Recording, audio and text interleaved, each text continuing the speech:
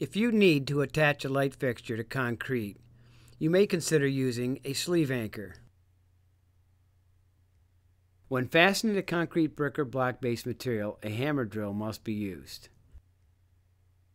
Remember, always use eye and ear protection when using a hammer drill.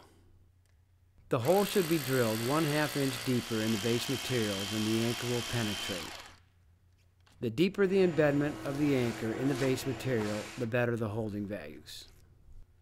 Sleeve anchors are designed for use in concrete brick or block based material.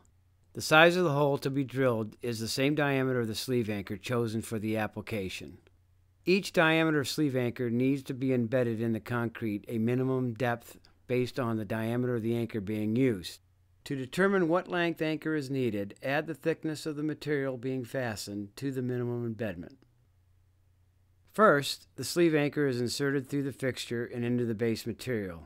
Next, using a wrench, turn the nut two to four times until snug. This will pull the stud up through the sleeve, expanding it against the wall of the base material.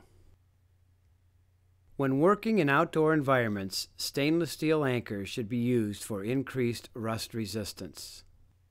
If you are working indoors, zinc plated anchors should be sufficient.